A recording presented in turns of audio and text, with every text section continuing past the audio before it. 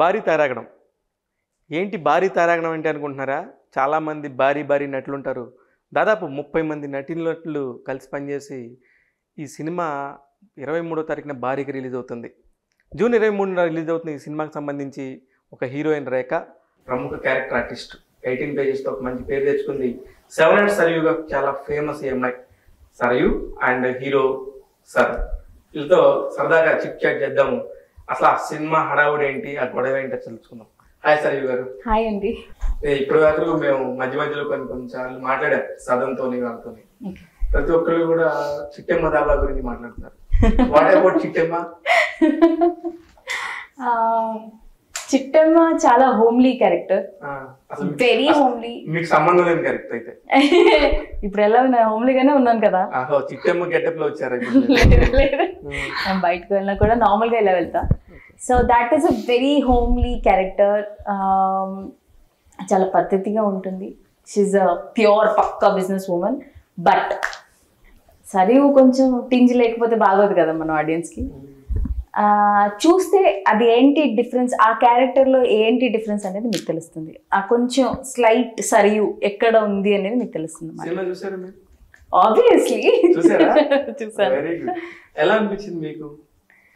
Dialogues ప్రతి dialogue నాకు చాలా నచ్చింది మూవీలో. ప్లస్ అంతమంది పెద్ద ఆర్టిస్ట్ని ఇంత తక్కువ బడ్జెట్లో ఆ, అంటే షూట్ టైం కూడా అది అదే ఎలా చెప్తాను సార్. అది మా డైరెక్టర్ గారు చెప్తారు ప్రొడ్యూసర్ గారు చెప్తాను నేను చెప్తే బాగోదు మళ్ళీ బయటకు తీసుకెళ్ళి కొట్టారనుకోండి బాగోదు. తక్కువ బడ్జెట్లో అంతమంది పెద్ద ఆర్టిస్ట్ డేట్స్ ఒకసారి అరేంజ్ చేసి వాళ్ళందరితో పని పని తీసుకోవటం అనేది it's like it's an art the free this the screen will be full అందుకే భారీగా. భారీగా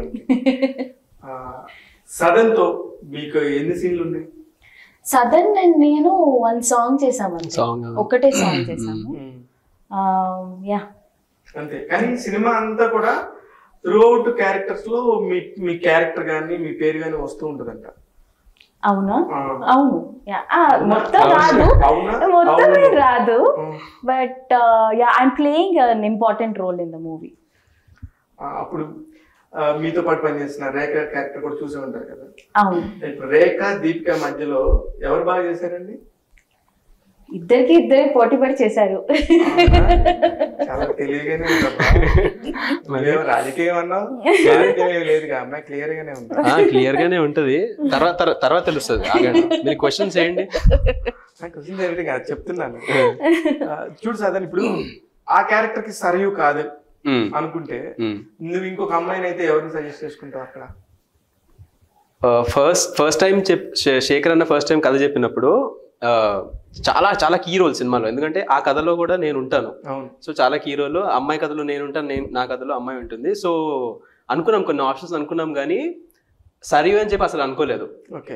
లాస్ట్లో ఎలా సెట్ అయిందో తెలియదు కానీ సెట్ అయింది. సరియు అన్నారు అనగానే సరే అని చెప్పి షూట్ అయిపోయింది. అయిపోయిన తర్వాత ఫస్ట్ కాపీ చూశాక నేను అనుకున్నా. అరే మనం అనుకున్న ఇన్ని ఆప్షన్స్లో ఎవరిని పెట్టినా కానీ నిజంగా ఆ క్యారెక్టర్కి న్యాయం చేయలేరేమో. సరియు ఒక్కటే చేసింది న్యాయం అనిపించింది. Seriously thank you so Very much nice. Thank you no I'm no very I'm impressed. Obliged yeah చాలా ఎక్కువ చెప్పేస్తున్నాము అసలు. లేదు లేదు. యా, యా, మీరండి? మీరు? మీ క్యారెక్టర్ గురించి చాలా ధనలక్ష్మి చాలా రౌడీది పల్లెటూరులో అల్లెం పిల్ల. పెంకి పిల్ల ఒక బుల్లెట్ మీద డ్రైవ్ డ్రైవర్ కూడా చూసే ఉంటారు. బుల్లెట్ మీద డ్రైవ్ చేసి బాగా అస్సలు కేర్ చేయకుండా అబ్బా నాకు ఏం అవసరం లేదు. అంటే చాలా మంది ఊర్లు ఇలానే ఉంటాయి కదా బావ మరదల మధ్య చిన్న గొడవలు బట్ వాళ్ళ వాళ్ళకి ఇష్టం ఉంటుంది. బట్ బయట చెప్పాలంటే వాడికి చెప్పాలంటే తను పట్టణం చదువుకుంటాడు కదా. సో ఇలా పల్లెటూరులో ఉన్నప్పుడు ఎలా ఉంటుందంటే స్వీట్ స్వీట్ మాటలు కానీ డైలాగ్స్ కానీ చాలా బాగా అనిపించింది నా క్యారెక్టర్ ఇది. సో డైరెక్టర్ చెప్పినప్పుడే నాకు అనిపించింది ఓకే ఇలాంటి క్యారెక్టర్స్ కూడా చేయాలి. సో అని అనిపించింది నాకు. మీకు అసలు ఈ సినిమా మొత్తంలో మీకు బ్యూటీ పార్ట్ ఏంటి? మీరు మీరు అనుకున్న బ్యూటీ పార్ట్ ఏంటి? మీరు తెలుగు అమ్మాయి తెలుగు అమ్మాయిని గట్టిగా గర్వంగా చెప్పండి. తెలుగు అమ్మాయి పక్కా తెలుగు అమ్మాయి. హీరోయిన్స్కి వేషాలు రావు. తెలుగు హీరోయిన్స్ చేయలేరు. అనుకునే చోట మేము చేయగలం. అని నిరూపించుకోవడానికి చాలా అవకాశాలు ఇప్పుడు ఇప్పుడే వస్తున్నాయి. మీరు అందులో ఉన్నారు కాబట్టి ఆ ముందు వరుసలో మీరు ఉన్నారు కాబట్టి ఒక సినిమా హీరోయిన్గా చేయడం అనేది తమాషా కాదు. ఆ సినిమా హీరోయిన్గా చేసి రిలీజ్కి వచ్చి రిలీజ్ దగ్గర ఉన్న థియేటర్ దగ్గర రిలీజ్ అవడం అనేది పెద్ద విషయం. అందుకని మీరు గర్వంగా గట్టిగా చెప్పండి. ట్రూ ఉమ్, ఇవాళ రేపు తెలుగు అమ్మాయిలు అసలు హీరోయిన్ గానే రావట్లేదు. ఎందుకు రావట్లేదో అర్థం కావట్లేదు. ఎందుకు రావట్లేదు ఏం లేదు. మీలాంటి వాళ్ళు ఢిల్లీ నుంచి ఇక్కడికి వచ్చేసి సెటిల్ అయిపోతుంటే నేను కూడా తెలుగు అమ్మాయినే అండి. చెప్పండి తెలుగు అమ్మాయి నేను తెలుగు అమ్మాయిని నేను తెలుగు చదువుతాను రాస్తాను మాట్లాడతాను. తెలుగు మాట్లాడతా తెలుగు చూస్తావు కూడా. తెలుగు చూస్తాను కూడా. అండ్ మన మన సినిమాలో అది అది స్లాంగ్ ఉంది చూసారా? నేను ఎక్స్పెక్ట్ చేయలేదు అసలు. ధనలక్ష్మి క్యారెక్టర్ దగ్గరికి వచ్చేసరికి నాకు కూడా కొంత ఇంటర్వ్యూ చేయాలన్నప్పుడు డైరెక్టర్ గారు కొన్ని చెప్పాడు. అందుకని నాకు కొన్ని బాగానే వంట పట్టినాయి మీ క్యారెక్టర్ సంబంధించి. మీలా మీలాంటి ఒక కూతురు ఒక కూతురు ఉంటే ఆ తండ్రి పడే కష్టాలు. ఆ తండ్రి ఎప్పుడెప్పుడు సూసైడ్ చేసుకోవాలని రెడీ ఉండే ఒక తండ్రి. ఈ దాని మీద మీరు ఎలాగా మాట్లాడతారు? దాని గురించి ఏం చెప్తారు? అంటే ఇప్పుడు ట్రైలర్లో కూడా కొన్ని కొన్ని షార్ట్స్ కనిపిస్తుంది. సో చాలా అల్లరి అమ్మాయి ఉమ్. అస్సలు తండ్రి మాటలు వినడం. కొన్ని రెండు సినిమాలు చూసి తెలుస్తుంది ఎవరు కూడా పడతారు దీంట్లో. సో అంత అల్లరి అమ్మాయి క్యారెక్టర్ నా దీంట్లో. సో మా ఫాదర్ క్యారెక్టర్ కూడా ఆయన ఎక్స్పీరియన్స్ కూడా చాలా బాగుంది నాకు. సో ఓవరాల్ నాకు ఈ ఫిల్మ్ అయిపోతుందా? సార్ ఏం సార్ అయిపోతుంది? ఇంకా నా క్యారెక్టర్ ఇవ్వండి సార్ అనే అంత ఇన్వాల్వ్ అయ్యాను ఈ క్యారెక్టర్. సూపర్. బావతో సెట్ అయినట్టుంది గట్టిగానే? సెట్ అయినట్టే ఉంటుంది కానట్టే ఉంటుంది. అవునా? క్లారిటీ లేదా? క్లారిటీ చూస్తే తెలుస్తుంది. సినిమాలో కాదు మీ అదే అదే అంటే ఏం లేదండి క్యాజువల్ అంటే వాట్ క్యాజువల్ ఏముంది క్యాజువల్గా? లేదు. ఏమీ లేదు ఏముంది? మీరు చెప్తారన్న మీరు. మధ్యలో ఎందుకు మాట్లాడుతున్నావు? అడిగేది అమ్మాయిని కదా. ఏం చెప్పండి? అమ్మాయి ఏం చెప్తే నీకు ఓకేనా? ఏం చెప్పినా కరెక్ట్ గానే చెప్తుంది అమ్మాయి. ఆ, నువ్వు చెప్పు.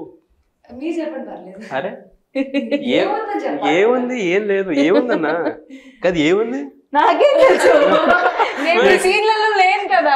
మీ ఇద్దరి మధ్యలో అమ్మాయి బయట చేస్తున్నారు నాకేమో తెలుసా? బానే ఉంది. సినిమా ప్రతిదానికి సదన్ సంబంధం ఉంటుందండి. ఆ. అంటే I mean, అన్ని క్యారెక్టర్ సదన్ చుట్టూ తిరుగుతాయి. అవును. సో ఆ క్యారెక్టర్ చుట్టూ సదన్ తిరుగుతాడు సో సదన్ అడిగాను నేను క్వశ్చన్ ఆ, నేను సినిమాలో ఉన్న అమ్మాయిల చుట్టూ తిరుగుతాను. అది. బయట? ఆ, బయట? ఇది నాకు సరే బయట కూడా ఇదే అమ్మాయిల చుట్టూ తిరగటమేనా నీ జీవితం అంతా నీ నాదా? అమ్మాయిలు. ఆ, నీదే. కాదు మౌనం అర్ధాంగీకారం అంటారు కదా. లేదు ఇవన్నీ రూమర్స్. ఇవన్నీ రూమర్స్. సినిమా సినిమా రిలీజ్ కాకముందే రూమర్స్ ఏంటన్నా ఇది? సినిమా? గురించి అడగట్లేదు సదన్ నీ పర్సనల్ లైఫ్ గురించి అడుగుతున్నా. అదే చెప్తున్నా ఇవన్నీ రూమర్స్. సినిమా రిలీజ్ కాకముందే రూమర్స్ వచ్చేస్తున్నాయి. అందుకే. ఇంతమంది హీరోయిన్లు పెట్టిన మా డైరెక్టర్ గారిని చెప్పాలి. నీ పాయింట్ ఆఫ్ వ్యూలో. యువర్ నువ్వు పెద్ద పది సినిమాలు చేయాల పెద్ద హీరో కాదు. ఫ్రాంక్గా మాట్లాడితే. అంత పెద్ద తోపు కూడా కాదు. కానీ ఇంతమంది హీరోయిన్లు క్యారెక్టర్స్ ఇవన్నీ చెప్తున్నప్పుడు ఒక డైరెక్టర్ కథ చెప్తేనే ఆ కథలోకి మీరు ఇన్వాల్వ్ అవుతారు. అసలు మొట్టమొదటి సినిమాలోనే ఏంటి ఇంతమంది అమ్మాయిలు ఏంది ఇంతమంది పెద్ద పెద్ద ఆర్టిస్టులు ఏందని ఎక్కడ ఒక జర్క్ రాలేదు నీకు? డెఫినెట్లీ వచ్చింది. ఫస్ట్ నాకు కథ చె- కథ చెప్పక ముందు నా టైటిల్ చెప్పారు భారీ తారాగణం అని. అని చెప్పగానే భారీ తారాగణం అంటే ఏంటి? పెద్ద కాస్ట్ అన్నమాట. సో ఆబ్వియస్లీ ఒక న్యూ బీగా నేను అంటే ఒక న్యూ ఇంట్రడ్యూస్ అవుతున్నాను కాబట్టి ఇంతమంది casting ని చూసి నర్వస్ అయితే ఫీల్ అయ్యాను. సో మెల్లిగా మెల్లి మెల్లిమెల్లి ఎప్పుడైతే కథలోకి వెళ్ళారో అప్పుడు క్లైమాక్స్లో అర్థమైంది. అబ్బా ఇంత అంటే ఇన్ని క్యారెక్టర్స్ మధ్యలో నేను ఒక కీ రోల్ ప్లే చేస్తున్నానని చెప్పి. సో బేసిక్గా డైరెక్టర్ గారికి చెప్పుకోవాలి ఈ ఇంత అంటే ఇంత హెవీ కాస్ట్లో నన్ను ఒక ఒక న్యూ బీగా పెట్టి ఇంత బాగా చేసినందుకు మీ మీ మీ ట్రైలర్ రిలీజ్ అయింది Hmm. మీ ట్రైలర్ని ఎన్ని లక్షల మంది చూసుంటారంట దాదాపు ఒక లక్ష రెండు లక్షలు మూడు లక్షలు two point two point three lakh views అలా వచ్చాయి three Hmm. Lakhs two Yeah. Lakhs మధ్యలో చూసారు. ఆయన అంత మందిలో కూడా ఎవడు ఈడు ప్రభాస్ని ప్రభాస్ని అనుష్కని పర్సనల్గా లాగి మాట్లాడతాడు ఎంత సినిమా అయితే అని అవును. నీ మీద ఒక ఒకటి వచ్చింది ప్రభాస్ ఫ్యాన్స్ ఎవరన్నా ఫోన్ చేసి కుమ్ముతారు కదా? మీ- అన్నారు. మీకు ఇలా తెలిసింది నేను మీకు కూడా చెప్పలేదు ఇది. నాకు చెప్పలేదు. ఆ వచ్చింది. కాల్ వచ్చింది. మన నంబర్లో ఎలా లేదు ఎలా తెలియదు కానీ. నేను అదే చెప్పా. బ్రో సి నేను కూడా ప్రభాస్ గారి ఫ్యాన్ నేను ఎందుకు చెప్తాను అట్లా మీరు ఏదైనా ఉంటే డైరెక్టర్తో చూసుకోండి. అని డైరెక్టర్ మీరు వేసుకోండి అని చెప్తే అవునా సరే అని చెప్పి చెప్పి వాళ్ళు ఇంకా ఆయన వెంట పడ్డారు మరి దాని తర్వాత ఏం జరిగిందో తెలియదు అంటే ఏం లేదు. డైరెక్టర్ ఏమో ప్రొడ్యూసర్ వేసుకోండి అనే అన్ని కూడా ఓన్లీ సర్వే అకౌంట్ అయ్యండి నాకు సంబంధం ఎందుకంటే నేను ఎప్పుడు స్టార్ట్ చేసింది మీరే. నేనే స్టార్ట్ చేశాను. కదా సదర్? నాకు తెలియదు అబ్బా మీరు మీరు చూసుకోండి. సేఫ్ గేమ్ ఎలా ఆడుతున్నాడు ఆ, చూసారా మనం మాట్లాడుకుందాం మాట్లాడుకుందాం. సరే ఈ టైం అది. బాగానే ఓకే ఓకే. ఈ ఇద్దరు యాక్టింగ్లో బావ బొమ్మర్దుల దగ్గర ఒక రొమాంటిక్ సాంగ్ అసలు మంచి లవర్ బాయ్గా ఉన్న నువ్వు. అసలు లవ్లో ఫెయిల్ అయ్యి ఇంటికి వచ్చిన నువ్వు వెంటనే పక్కన చీర కనపడగానే ఆ, ఆ మరదలకి సెట్ అయిపోవటం. నేను రా బాగానే ఉంది ఏదో శివుడు ముక్కు వేసుకుని ఉంటుంది అనుకున్నాను. బాగానే ఉందని ఒక డ్రీమ్ సాంగ్ చేసేసుకోవటం. అన్ని కూడా టక్క టక్క మంది జరిగిపోయినాయి. ఎందుకు చివరి దాకా ఈ అమ్మాయితో ట్రావెల్ చేయలేకపోయావు? మధ్యలో ఎందుకు అమ్మాయికి హ్యాండ్ ఇచ్చావు? ఇదంతా ఇప్పుడు చెప్పలేము. జూన్ ఇరవై మూడున మీరు అందరు చూసి ఓకే. మీరే తెలుసుకోండి. నీ పాయింట్ ఆఫ్ వ్యూ అమ్మా. మీరు కూడా సినిమా చూసారు కదా? అవునండి. మీరు కూడా సినిమా చూసారు కదా? మీరు బాగా చేశారా? నిజంగా ఇంకో హీరోయిన్ దీపిక బాగా చేసిందా? నిజం చెప్పండి. అంటే అది అలా చెప్పలేదు. అవునవును. క్యారెక్టర్ పరంగా నేను చెప్తున్నా. హా. అంటే మీకు ఇచ్చిన క్యారెక్టర్ మీరు న్యాయం చేసి కానీ ఎలా ఉండింది? ఆ అమ్మాయి ఎలా ఉండింది? ఆ అమ్మాయి బాగుందా? మీరు బాగున్నారు? నేను బయట ఎవరిని అడగట్లేదు మిమ్మల్ని అడుగుతున్నాను. మీరు అడగట్లేదు కెమెరా కెమెరా పెట్టి సిగరెట్ అడిగినట్టు అడుగుతున్నారు. అలా లేదండి తన క్యారెక్టర్ తన న్యాయం చేసిందని అనుకుంటున్నాను. బేసిక్గా మా ఇద్దరికి ఎక్కువ కాంబినేషన్స్ కూడా లేవు. కానీ మీరు చూడటానికి చిన్నపిల్ల ఉంటే అమ్మాయి అనుష్క లా ఉందని అమ్మాయి చెప్తుంది. ఆ అంటే అనుష్క అంటే అమ్మాయిని అనుష్క అంటారట. ఓకే. ఆ ఆ అంటే హైట్ ఓకే. వెయిట్ పర్సనాలిటీని బట్టి అమ్మాయి అనుకుంటుండొచ్చేమో. ఓకే. మీరు మీరేమనుకుంటున్నారు? అమ్మో నాకు చాలా టఫ్ క్వశ్చన్స్ చెప్తున్నారు మీరు. కాదు. చెప్పండి. ఎవరికైనా చెప్తే బాగుండదు. పక్కన వాళ్ళు చెప్పాలి. అంటే ఎవరు ఎలా ఎవరు బాగున్నారు బాగాలేదని. నేను నేను మీలో యాక్ట్ చేయలేదు. నేను మీలా సినిమా మొత్తం చూడలేదు. మాకు ఎలా ఇస్తారండి ప్రొడ్యూసర్ అంటే ట్రైలర్లో కూడా చూసుంటారు కనీసం. ట్రైలర్లో చూసాను ఆ, మీరు చెప్పండి. జడ్జిమెంట్ మేము చేసుకుంటే ఎవరు సరే నాకు ట్రైలర్లో అంటే నాకు నాకు పర్సనల్గా నాకు పల్లెటూరు అమ్మాయిలు అంటే ఇష్టం. ఓకే. పర్సనల్గా బేసికల్గా నేను ఒక విలేజ్ బ్యాక్ డ్రాప్ నుంచి వచ్చాను కాబట్టి అలాగా నాకు మీరే నచ్చారేమో. నచ్చారేమో అని క్వశ్చన్ మార్క్ పెట్టారు మళ్ళీ? అంటే నేను కొన్ని కొన్ని యాంగిల్స్లో చూస్తాం కదా. అలాగే మీరు కొన్ని ఈసారి ఆ అమ్మాయితో ఇంటర్వ్యూ పెడతా. నేను బేసిక్గా పల్లెటూరు పల్లెటూరు నుంచి వచ్చి? అనుష్క అంటే ఇష్టం. అందుకే మీ- నాకు మీరే నచ్చారేమో. అక్కడ కూడా ఇదే డైలాగ్ సేమ్ పల్లెటూరు నుంచి వచ్చేసి సిటీలో సెటిల్ అయ్యాం కాబట్టి సిటీ అమ్మాయి. ఒక అరగంట ఇంటర్వ్యూ చేయాలంటే ఇంత నరకం పెడతంటే సినిమా ఎలా చేస్తావు? ఆ? అమ్మో అదో పెద్ద టాస్క్ అది రాసుకేనా? కానీ కానీ నాకు తెలిసింది ఏంటంటే ఎంత పెద్ద టాస్క్ ఉన్నా కూడా నువ్వు కొంచెం మనకంటే కొంచెం పెద్ద హోదా ఉన్న వాళ్ళతో కాకుండా మనకి ఈక్వల్ రేంజ్లో ఉన్న వాళ్ళతో కొంచెం మ్యాటర్ సెట్ చేస్తున్నాం అనేది బయట టాక్ మీ యూనిట్లో టాక్ ఇంకా మరి నీకు ఈక్వల్గా ఎవరెవరు ఉన్నారో చూసుకొని? ఏంటన్నా ఇది? దేని గురించి మాట్లాడుతున్నారు?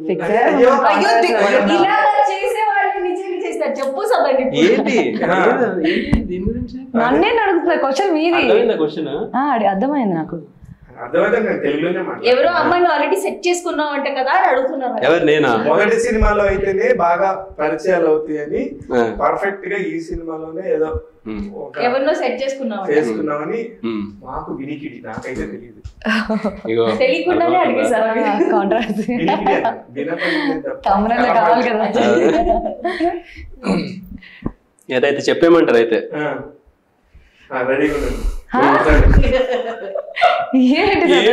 నాకు తెలియదు.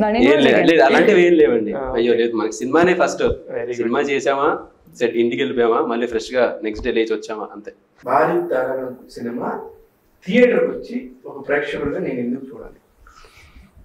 అంటే ఏజ్ గ్రూప్ లేకుండా అందరిని ఎంటర్టైన్ చేసే సినిమా ఇది. ఓకే. సో ఇది ఒకటి చెప్పగలను. అందరిని ఎంటర్టైన్ చేయగలిగే చిన్నపిల్లల నుంచి పెద్దవాళ్ళ వరకు. సో అందుకే చూడొచ్చు నవ్వుకోవచ్చు ఏడవచ్చు ఎంటర్టైన్ అవ్వచ్చు మంచి పాటలు ఉన్నాయి. సో అది ఏజ్ గ్రూప్ లేదు అసలు ఈ సినిమాకి. సేమ్ అన్ని వర్గాల వారికి అంటే స్టూడెంట్ లైఫ్ నుంచి ఎంప్లాయీస్ నుంచి ఊర్లో ఒక ఉండే వాళ్ళ ఉండే వాళ్ళ దగ్గర నుంచి అన్ని వర్గాల అన్ని వర్గాల వారికి నచ్చి ఈ సినిమా. ప్లస్ కొన్ని సినిమాలు కంటెంట్ గురించి చూడాలి. నాట్ ఎవ్రీథింగ్ ఇస్ కమర్షియల్ అది కూడా ఉన్నాయి మా దాంట్లో.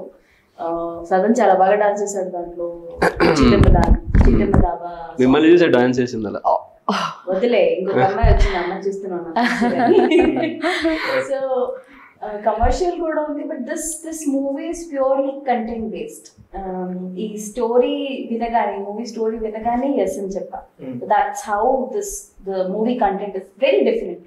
ఇప్పటి వరకు రాని స్టోరీ అంటే ఏ చాలా మూవీస్ ముందు నుంచి ఎక్కడి నుంచో ఇన్స్పైర్ అయ్యి లేకపోతే రిపీటెడ్ కంటెంట్స్ వస్తాయి. దిస్ ఇస్ టోటలీ డిఫరెంట్ ఇప్పుడు మనకి హర్రర్ సినిమాలు వస్తూ ఉంటాయి. కంప్లీట్ లవ్ స్టోరీ వస్తూ ఉంటుంది. దీంట్లో ఏంటంటే ఒక కొత్త డైరెక్టరు. సో జనాలందరినీ నవ్వించాలని కామెడీ లవ్ స్టోరీ అలానే at a time emotion. So complete ఒక ప్యాకేజ్లో తీసుకొస్తున్నారు ఒక భారీ తారగని సినిమాతో. అసలు ఇది ఏ జానర్ కింద తీసుకోవాలి ఈ సినిమాని? ఇది కామెడీ అండి. కామెడీ లవ్ జానర్ సపరేట్ ఏం దీనికి లేదు. అన్ని మిక్స్ ఉన్నాయి అంటారు ఇప్పుడు ఇప్పుడు లవ్ స్టోరీ ఉందని కానీ ఒక ఒకటే టైప్ దీన్ని చెప్పండి మీరే. భారీ తారం రిలీజ్ అయ్యి మీరే చెప్పాలి.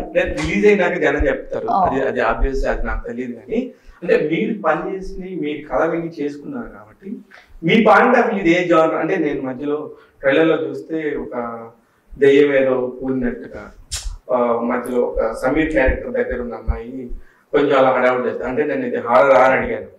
"ఆ, లేదు లేదండి సినిమా చూడమని మీ డైరెక్టర్ కూడా అన్నాడు. అంటే ఇన్ని జానర్లు మిక్స్ అయ్యి మళ్ళీ పల్లెటూరు కనబడుతుంది మళ్ళీ సిటీ కనబడుతుంది Hmm. ఇన్ని జానర్లతో మళ్ళీ నాకు సాయి కుమార్ వాయిస్ వినపడుతుంది. ఏంటి అనేది నేను ఒక క్వశ్చన్ అడుగుతాను అంతే.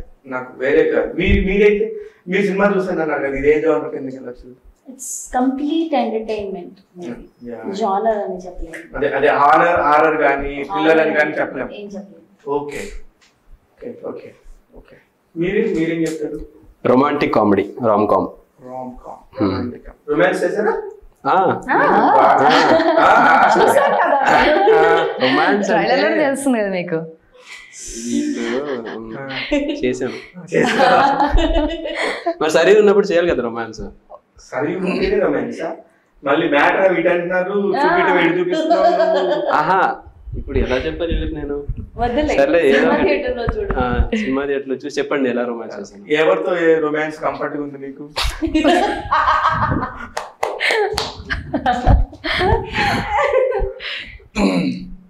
అందరితో.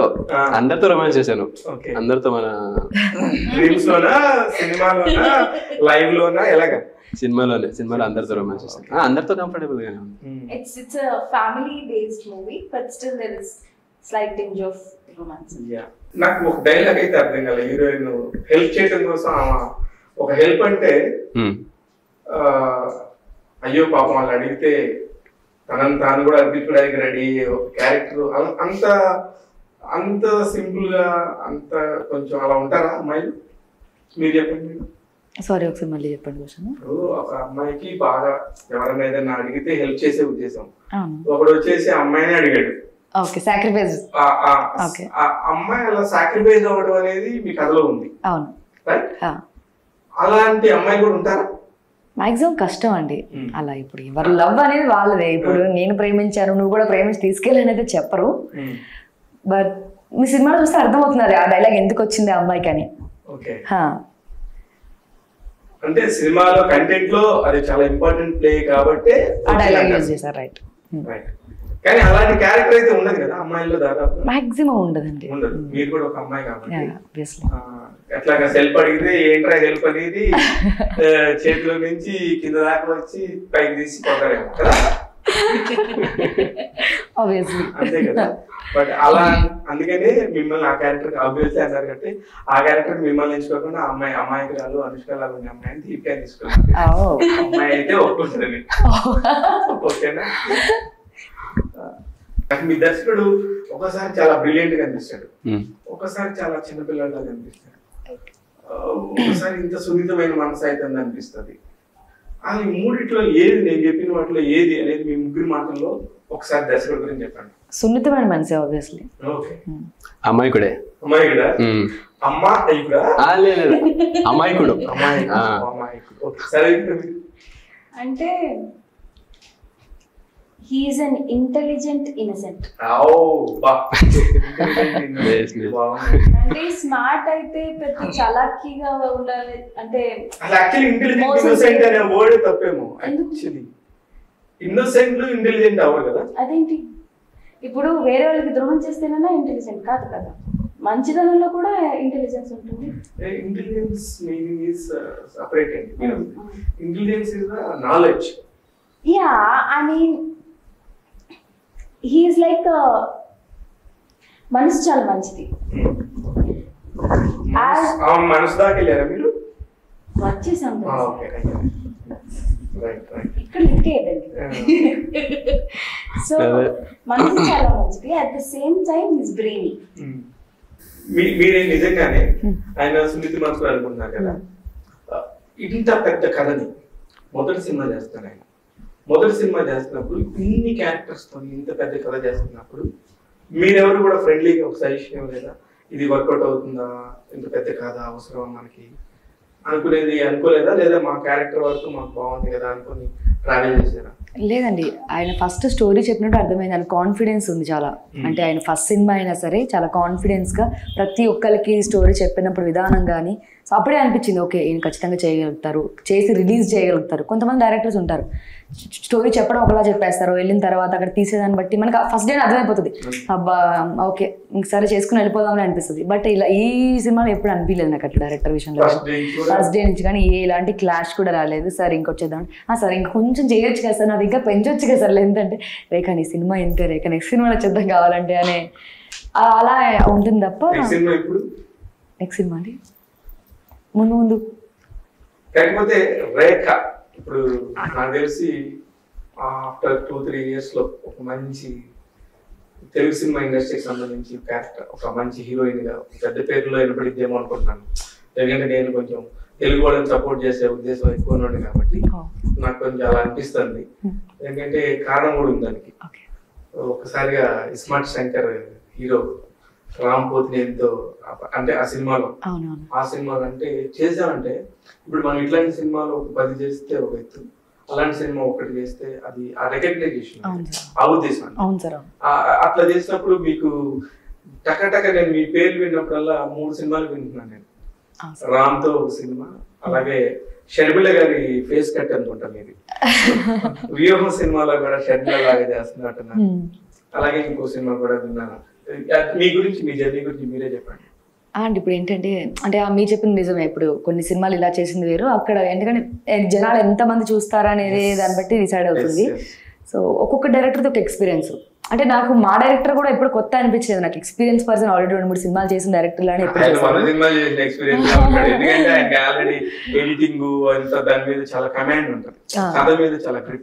అవునండి. ఇప్పుడు బోయపాటి సార్తో ఒక మంచి ఎక్స్పీరియన్స్ అంటే ఇప్పుడు ఆయన సెట్లో కానీ ఎవరిని ఎలాంటి ఇబ్బంది పెట్టకుండా లైక్ ఇప్పుడు ఒక ఒక నార్మల్గా వన్ డే ఆర్టిస్ట్ వచ్చినా సరే ఆయన డైలాగ్ తరబడితే సీరియస్ అవ్వరు ఎప్పుడు. సో ఓకే ఇంకో వన్ మరో మళ్ళీ ఫిఫ్టీన్ టేక్స్ కూడా చేసిన రోజులు ఉన్నాయి సో కొంతమంది. సో ఎప్పుడు కోపం లేకుండా కూల్గా ఉంటారు. అదొక మంచి ఎక్స్పీరియన్స్ ఆయన వర్క్ కానీ ఆయన టేకింగ్ కానీ సో ఆర్జీవి సార్ది ఇప్పుడు చాలా మంది చూస్తే ఆయన అమ్మో ఆర్జీవి అంటే అమ్మాయిలు అది ఇది అనుకుంటారు కానీ సో నేను I think five days work చేశాను నేను. ఎప్పుడు ఎలా ఎప్పుడు ఎలా ఒక అలా చూడడం కూడా ఎప్పుడు తెలియదు తెలియదు నాకు ఒక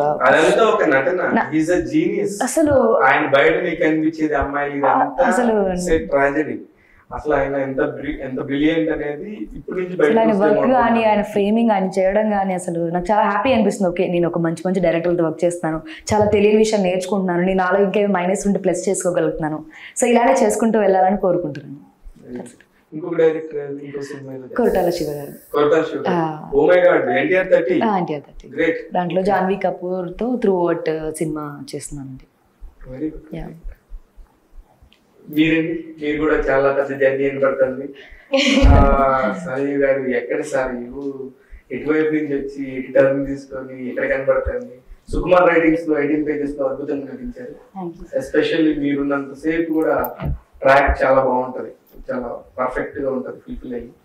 ఇప్పుడు కూడా దాని కంటిన్యూషన్ సినిమాలు చేస్తున్నారా? భారీ తరాగడం కాకుండా. యా ఇంకో త్రీ మూవీస్ రాబోతున్నాయి. వచ్చే వరకు నేను ఎవరికి చెప్పను. అక్కడ ఎన్సైక్లోపీడియా వచ్చాక యా నో ప్రాబ్లం అది పర్లేదు. ఆల్ ద వెరీ బెస్ట్ మీరు సినిమాలు చేసుకుంటా. ఆ, ఇట్లాగనే అందరితో ఎంటర్టైన్ అవుతా. మీకంటూ ఒక అద్భుతమైన పేరు చేసుకోవాలని మనస్ఫూర్తిగా సార్ ఇప్పుడు ఈ ట్వంటీ త్రీ తర్వాత Hmm. సదన్ అంటే? ఒక హీరోనా ఒక మంచి నటుడా? మంచి డాన్సరా అంటే పర్సనల్గా నాకు జనాలు నన్ను ఎలా రికగ్నైజ్ చేయాలి అని కోరుకుంటున్నానంటే హీరో అని కాదు. అంటే పర్టికులర్గా ఒక హీరో అని కాదు కానీ అరే వీడు ఒక మంచి యాక్టర్ రా అని ప్రూవ్ చేసుకోవడం నాకు చాలా ఇష్టము. అంటే నాకు హీరోగా చేయాలనే కాదు. ఏదైతే మంచి రోల్స్ ఛాలెంజింగ్ రోల్స్ ఉంటాయో అవి చేయడం నాకు చాలా ఇష్టం. సో యాజ్ అన్ యాక్టర్గా నన్ను రికగ్నైజ్ చేస్తే నాకు నేను చాలా సంతోషంగా ఫీల్ అవుతాను. మొదటి సినిమాలోనే దాదాపు వంద సినిమాలు వంద థియేటర్లో ఈ సినిమా రిలీజ్ అవుతుంది. సినిమాలో నటించడం కాదు. నటించిన సినిమా రిలీజ్ అవడం గొప్ప. అలాంటి రోజుల్లో ఉన్నాం మనం ప్రస్తుతం. ఆ రోజుల్లో మీ సినిమా జూన్ ఇరవై మూడో తారీఖున భారీ తారాయణం అంటుంది మన థియేటర్ రిలీజ్ అవుతుంది రెండు తెలుగు రాష్ట్రాల్లో. ఆల్ ద వెరీ బెస్ట్ చాలా బ్రైట్ ఫ్యూచర్ ఉంటుంది. అట్ ద సేమ్ టైం మీ బంధువు గురించి కూడా చెప్పడం మర్చిపోయినట్టున్నారు ఎవరు? అలీ గారు? ఆయన ఆయన గురించి చెప్పండి. అందరికీ తెలిసిందే కదా. అదే అలీ గారి వల్ల Hmm. ఇండస్ట్రీలోకి వచ్చావా? Hmm. అలీ గారిని చూసుకుంటూ వచ్చావా? లేకపోతే ఎలా కాదు?